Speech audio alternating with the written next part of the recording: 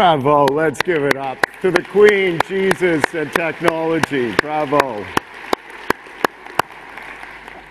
Uh, Guy, I, I was having a chat with Guy Phillipson outside. Where, where's Guy in the audience?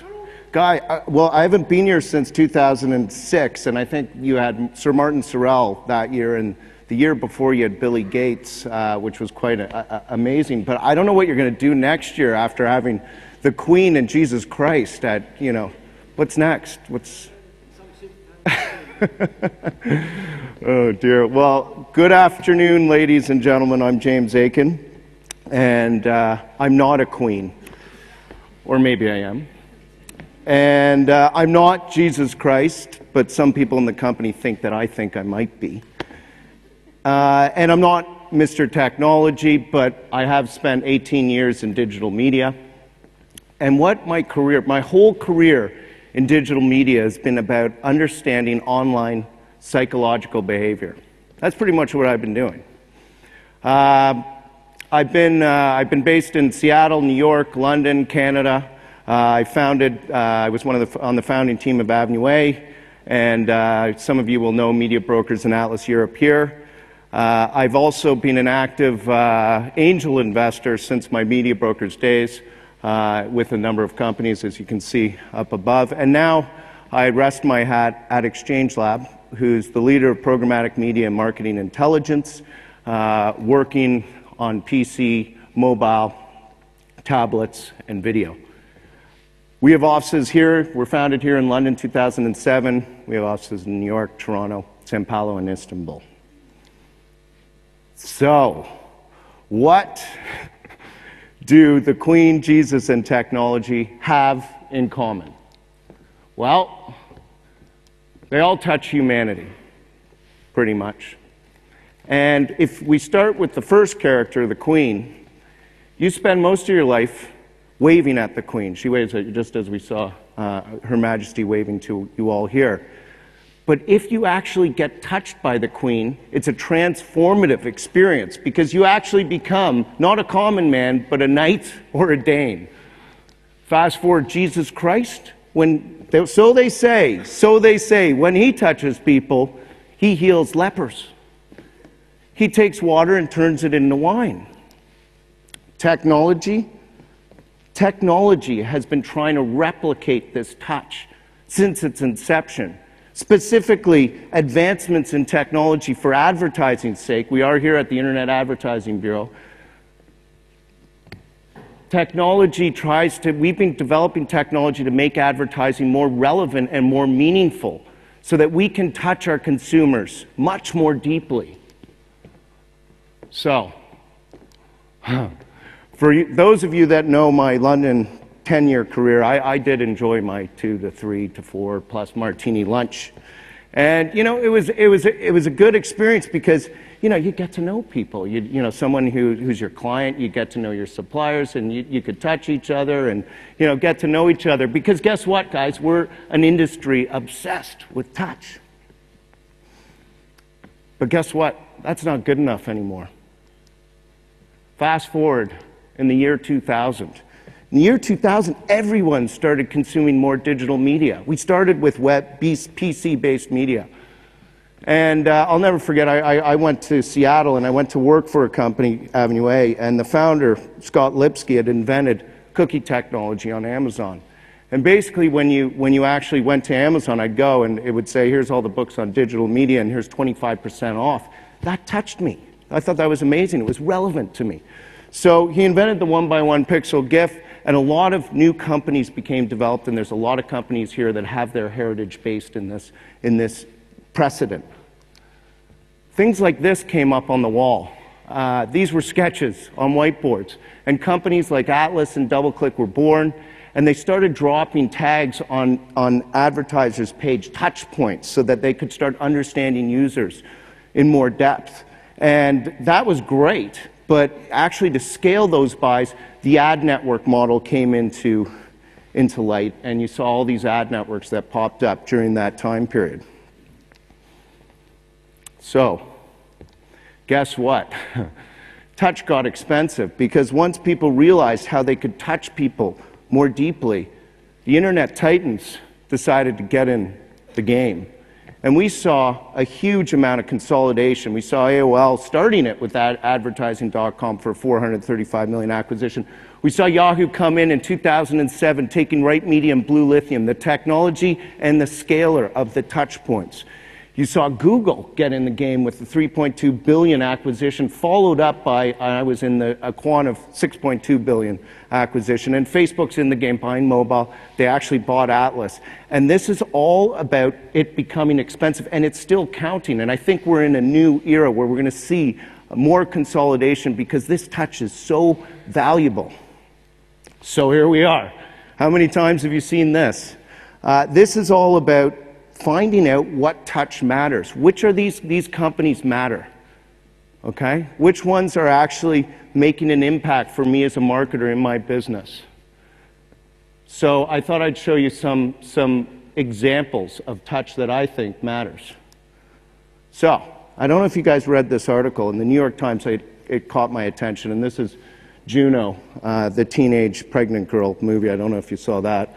Um, but this was the article the New York Times uh, published how Target figured out a teen girl was pregnant before her father did. And essentially, this is about retailers using touch. So they knew that this, they had her credit card information, her order ID, and they knew that she was buying folic acid and pregnancy type of vitamins. And what happened was is they had her address and they started doing direct mail to her house, which for those of you that have children know that you got to have pack and plays, nappies, and there's so much kit that goes with this. And they were they are big customers for Target, so they're they're sending all these offers out to out to this this uh, teenage woman's uh, house, and the father calls up Target and complains and says, "This is outrageous. She's a teenager. What the hell's going on here?" To uh, to the fellow at Target Five days later, he called back to that, that manager and apologized because she was, in fact, pregnant. I thought it was brilliant. This was a beautiful one, too. This was here in the UK. This was uh, Media Brokers Days, and one that I always, I always really, really touched me. Essentially, Weight Watchers thought that this was their target audience. Okay? This is who they were going to this is who they were going to target for their online media campaigns. Guess what? This is their target audience online. Okay, so literally what happened is we dropped a bunch of tags on Arsenal, Manu, and Chelsea. Okay? And it performed 2,200 times better on conversions in terms of signing people up to Weight Watchers. Okay? And what's, what's, what's crazy is it's almost like someone tapping you on the shoulder because, you know, the fellow on the, on the left there, you know, his, his mate on the right, he's feeling a wee bit tubby, you know, he's having a couple too many pints. You know, he doesn't want to turn to his mate and say, I'm feeling a wee bit tubby, you want to go for a jog? Or how about we go sign up for the Weight Watchers program? like, that's never going to happen. However, when we actually took the campaign and went against what the agency briefed and put it on Manu, Chelsea, Chelsea and Arsenal, we touched him more deeply than his mate did. Crazy, right? But this is what's happening. Nissan, another example. So Nissan thought they wanted, they were selling the Altima. This happened with Exchange Lab. And uh, they figured, okay, we want to buy all the cookies that have been to our site and retarget them because they're on Altima. And uh, we want to retarget them with, with impressions, okay, on, on various devices. Well, we, we basically put them into what is essentially this programmatic media touch that I call, where, as I said, these internet titans now have pools of inventory, okay? Now, a lot of the trading desks might use one, Invite Media on Google, or, or they might use Right Media for Yahoo. We have a different model. We look at them all because you want to scale that segment, okay? But what actually happened, there was no scale. In this example, BBC was using AppNexus to make their inventory biddable, okay? Goes in, and by the way, this model, it's, it's all happening in milliseconds, as most of you know and bang, these are all the advertisers competing to win the impressions. And, you know, you've seen on the market the likes of Rocket Fuel, you know, at, at a 1.7 billion acquisition. That's why I think it's a very interesting time right now in our business, because we're seeing the market uh, bounce back. And it's essentially built on retargeting a lot of this stuff. But here's, here's the other problem. It doesn't always work. So Visa's in, Apple, they, their touch points are about people and selling iPods, and Nissan, they want to buy their, their users back who have been on the site. They win the bid, whoopee! They're serving an impression, and they're getting nothing. And they're only serving maybe, I, I can't remember the stats, but there wasn't a significant amount of impressions to even fulfill a 5K buy, even if you're trolling all the oceans, all the big internet titans, exchange, exchange marketplaces. So this is where the human humanity comes into play in technology. We're in advertising, ad tech. What about advertising? So let's think creatively about how else we can go about and figure out the touch points that matter. So one of the traders figured out that actually use lookalike modeling, which a lot of companies are starting to bring up to fruition and plug into the exchanges, and figure out what the cookie's characteristics are. Married, college educated women, and guess what? Those cookies, same characteristics, were sh shared in the casual gaming category. So we went into the casual gaming category and we found one site that delivered so, so many results for Nissan, it was insane.